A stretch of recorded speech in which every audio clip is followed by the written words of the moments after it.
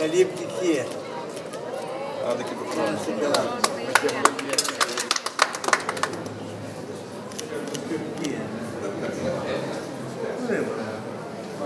Ο Δημήτρης ο Κουβδής είναι ένας αγκαιοπλάστης, γέννημα θρέμα από πατέρα και από μητέρα.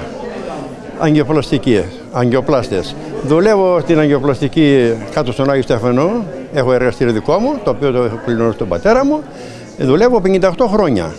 Φέτο, με προσπάθειες του Υπουργείου Πολιτισμού, του Δήμου Δυτικής Λέσβου, της Αντιδημάρχου Τουρισμού, Πολιτισμού, από Δυτική Λέσβου βέβαια όλα αυτά, έγινε η τιμή να μπω στο Εθνικό Ευρετήριο άλλη πολιτιστικής κληρονομιάς της Ελλάδος.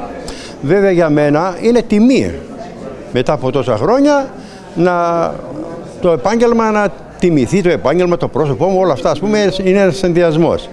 Ε, από εκεί και πέρα νομίζω ότι δεν σταματάμε, δουλεύουμε όσο μπορούμε, όσο αντέχουμε. Θα φανεί στο μέλλον αν υπάρξει κάποια άλλη ας πούμε, τιμή προσφοράς, οικονομική, ηθική. Αυτό δεν το ξέρω γιατί δεν ξέρω και το, το πρόγραμμα της, του Εθνικού Ευρετήριου Πολιτικής Κοινωνίας τι μπορεί να προσφέρει σε έναν αγκαιοπλάστη, σε έναν κεραμίστα.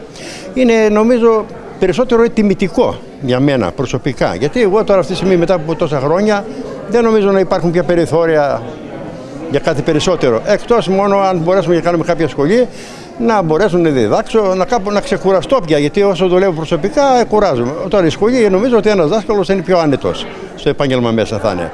Ε, οι γνώσεις μου είναι μεγάλες, μεγάλη εμπειρία. Ε, χρόνια βέβαια, με κλειστά μάτια. Φτιάχνω ένα σταμινία. Είναι λίγο παράξενο το λες στον άλλον, σε λέει τώρα πλάκα με κάνει μας δουλειά. Τέτοιο ας πούμε είναι. Αλλά εντάξει, δεν μπορώ. Έχω μάθει τη δουλειά τόσο πολύ που Καμιά φορά σκέφτομαι και λέω, εγώ τα κάνω. Μηχανή τα κάνει, δεν μπορούσα. Ε, ε, είναι, είναι εμπειρία, ρε παιδιά, είναι τα πολλά τα χρόνια. Είτε είχα ένα καλό δάσκαλο, ήταν ο πατέρας μου πολύ καλός αγιοπλάστη. Όλη η οικογένεια του πατέρα μου βέβαια είχε καλός μαστόρο. Είμαστε μια ιστορία στον Άγιο Στέφανο, εργαστήρια συγγενικά. Τι να πω, μεγάλη, μεγάλη, μεγάλη ιστορία.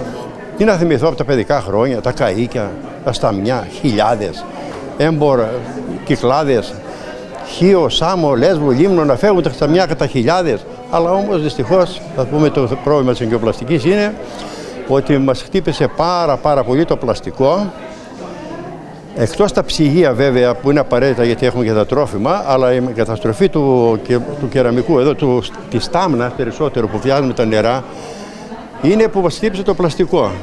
Δηλαδή, αν σήμερα δεν υπήρχε αυτό το πλαστικό, μπορεί να υπήρχαν 3-4-5 εργαστήρια αγκιοπλαστικής ακόμα. Αλλά στην προκειμένη περίπτωση δεν μπορείς να επιβιώσεις πια ποτέ.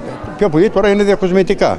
Αν δεν ήταν τούτα εδώ τα πήγαινα που φτιάχνουμε εδώ στο φούρνο τα φαγη, για φαγητό, οι γάστρες, τα γιουβέτσια, οι κουτοπουλιέρες για να κάνουμε βάλουμε φαγητό στην κουζίνα, δεν μπορούσε να σταθεί ένα εργαστήριο αγκιοπλαστικής με τίποτα. Όσο για τα καινούργια τα κεραμικά που βλέπουμε εδώ και στην έκθεση σήμερα, νομίζω είναι τα μοντέρνα, τα διακοσμητικά, διακοσμούν τα σπίτια, τα δώρα, σουβενίρ. Εντάξει. Αλλά τούτο εδώ το πράγμα που φτιάχνω εγώ είναι εντελώς είναι πράγματα για την κουζίνα. Για χρη... Είναι χρηστικά αντικείμενα. Αλλιώς δεν θα μπορούσα να σταθώ αν δεν υπήρχαν τότε τα χρηστικά. Είναι. Το, εγώ κοιτάξτε, εγώ πρόλαβα γύρω στα 25 εργαστήρια, ξεκίνησα το 1967. Γι' αυτό λέω είμαι 57-58 χρόνια είμαι στο επάγγελμα. Πρόλαβα γύρω στα 23 με 24, αν καθίσω και βάλω τη μνήμη μου να δουλέψει, αναπολέ του παρελθόν, θυμάμαι ότι υπήρχαν γύρω στα 23 με 24 εργαστήρια εν λειτουργία. Γνώρισα όλους τους παλιούς αγκαιοπλάστε. Συν το χρόνο, κλείνοντα κάθε χρόνο ένα-δύο, ένα-δύο, ένα-δύο και τελικά μετά από 42 κατεγραμμένα εργαστήρια στον Μανταμάδο, στην περιοχή μας, Μανταμάδο και Στέφανο, προπόταμο γενικά στην περιοχή μας, έμεινα μονάχος μου.